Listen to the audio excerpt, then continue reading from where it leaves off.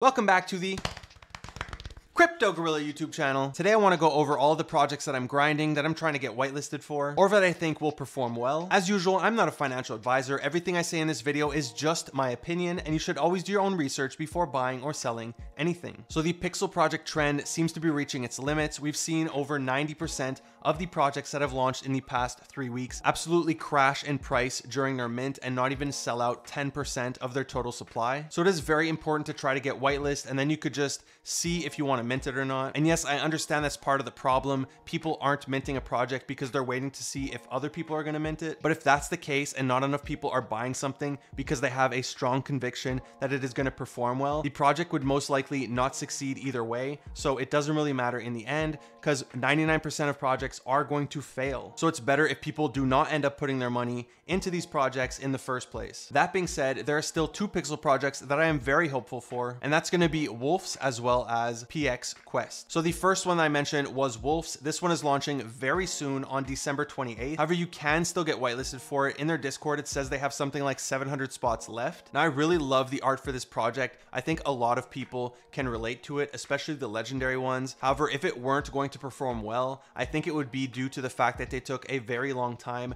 to launch the final product. In my opinion, we're seeing a lot of Discords launch way too early, and they end up losing a lot of the hype that they had for their project. Now, when it comes to Wulfz, their general chat is still very active. So I'm hopeful that this is not the case for this project because I really like the art. As I said, I think a lot of people can relate to it. So I find myself rooting for it and wanting it to do well. The other one that just opened up is called PX Quest. However, Discord was already at 18,000 members. This wasn't a Twitter Discord drop. Their website had a countdown, so you could have seen the exact moment when their Discord was going to launch, and you would have had the best chance at getting the early roll. So what PX Quest is trying to do is launch a 2D free-to-play MMO game. Now, I have not yet seen a demo for this game. However, they have put a lot of effort into the designs for their characters. They have five different races with eight different classes, and they've also released a white paper. Now, in this white paper, you see that you'll be able to complete dungeon quests in order to receive weapons, armor, as well as resources. And you'll also be able to duel against other players by wagering your Chronos token, which is the token for this project, as well as different items and resources. Now, they're also going to have land ownership, which is going to give special benefits to those who own it, such as the ability to mint better gear, have better raids, so larger dungeons, and of course, you will be able to build on your land with the resources you've earned. So the initial launch is going to be 5,000 NFTs, and then they're going to have a Gen 2 launch where you're only going to be able to summon the NFTs using their Chronos token. So I really like this project. I did manage to win a coin toss in their Discord, and I got some whitelist spots for my Patreon. I'm very happy I did that, and I would definitely recommend trying to get whitelist for this project. Next on our list is Azuki. Now, there hasn't been that much new news for this project. However, they did finally launch their website. It looks very clean. I truly love the art style for this project. I've actually been in talks with one of the founders, and I can tell you this isn't your typical NFT project. They aren't going to have a traditional roadmap, so don't expect any crazy big promises. Their goal really seems to build a brand for the internet and for people like us, which they call the skaters of the internet. He actually shared some of our DMs on Twitter where he says, We are the skaters of the internet.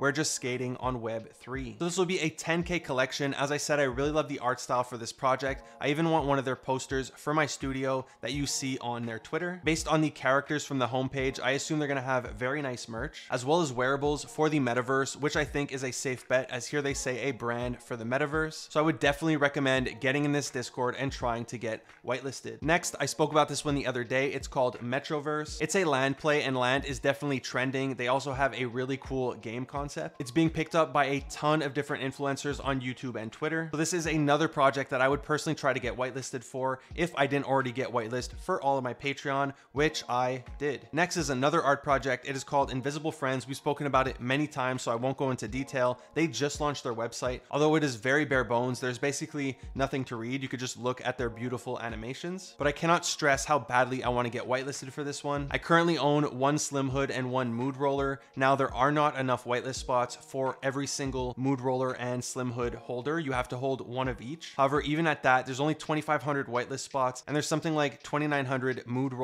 owners and 2,700 Slim Hood owners. So I feel like they're just to raffle them off to people who own both. Now, if you don't own both, I wouldn't recommend just going out and spending something like 0.4 ETH to purchase one of each. What you can do is grind their Discord to level 10 and then you will get a channel called Invisible Games that's to open up and then you're to be able to play different games to try and get whitelisted. Next, of course, we always cover them together, Invisible Friends, right next to web-generated modular interfaces. They did have a marbles game where you were able to win whitelist through another Discord. However, this one, just like Invisible Friends, I do think is going to do very well, so follow them on Twitter and try your best to get whitelisted however you can. Create art, answer their tweets, put funny memes, whatever you got to do to get whitelisted for this project, do it. Next, we have Hapebeast. Now, Hapebeast is by far the most hyped project that we have coming up in the next month and probably in the next 10 months. They finally announced their launch date as well as their price. It is going to be launching on January 19th with a price of 0.2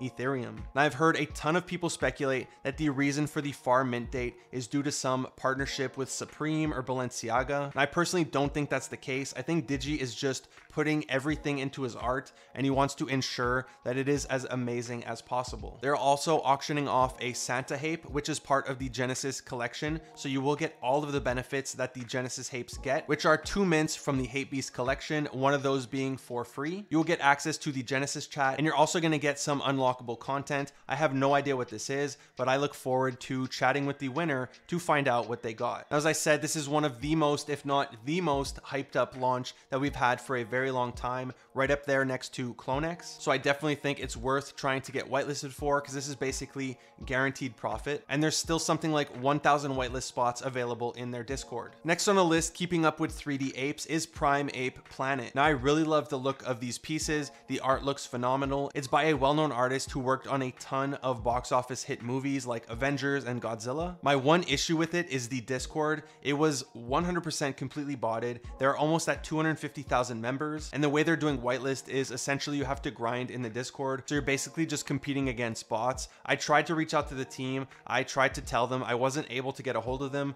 I do think they should completely change change how their Discord works. They need to cleanse a ton of bots. I think it's safe to say that something like 50% of the accounts in there are bots. So they need to do a purge. They need to maybe talk with another project and figure out how other projects are cleaning out their Discord and getting rid of all these bots. However, that being the case, I still do really think you should get whitelist for this one because when you compare it to something like Crypto Bull Society, that project is currently at 2.5 Ethereum and these pieces are just as nice as the bull ones and these are about apes. So I can easily see this going to something like one Ethereum if enough real buyers are actually involved in the project. Another one which I have not been able to get whitelisted for yet, and I have no idea how, it seems to be handpicked, so you're gonna have to stand out. I've been creating fan art. You know what's funny? A lot of people complain that I get a lot of free stuff for being a YouTuber, an influencer, which is true, I definitely do, but my entire Monday and most of my Tuesday was spent grinding discords, writing a ton of messages, engaging with people, and creating fan art. I made three different fan art pieces for different discords. So there are these projects where I have to grind just as much as you guys. So I understand the frustration with a lot of these whitelists. And I do think it is going to have to change due to the amount of bots that are in these discord servers. But regardless, I do really love how this project looks. The art style is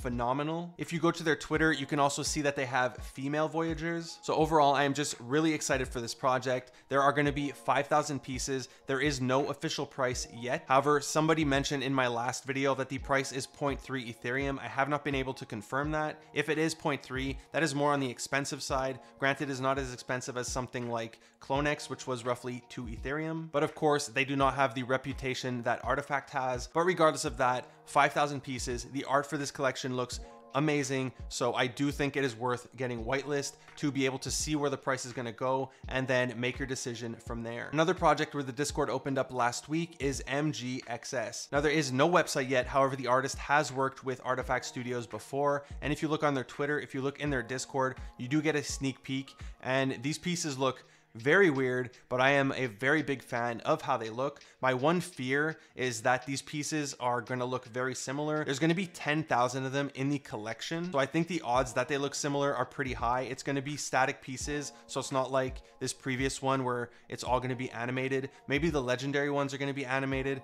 but they specifically mention it's going to be static in the Discord. So we're going to have to wait and see what they're going to look like because as beautiful as these pieces are, I am scared where we get another situation with a collection that all of the NFTs just look the same. So there is no information on how to get whitelisted yet for this one either, but Regardless, hop in their Discord, try to get whitelist. As I said, this person has a connection with RTFKT, and as you know, RTFKT has a Nike deal. RTFKT popped off, so hopefully that rubs off onto this collection, and this collection manages to do very well. Speaking of RTFKT, another person who has collaborated with RTFKT is Jeff Staple. We have here his collection Stapleverse. I was super hyped about this one. I managed to get whitelist in the pecking order where you sign up on their website. I tweeted that a while back with all the instructions on how to do it. However, I'm not sure what to make of this project because they have been releasing feed NFTs, which is what it seems this collection is going to be and it says there's going to be 10,000 NFTs total and only 20 varieties for 0.1 Ethereum each. Now I know this person has a very good reputation.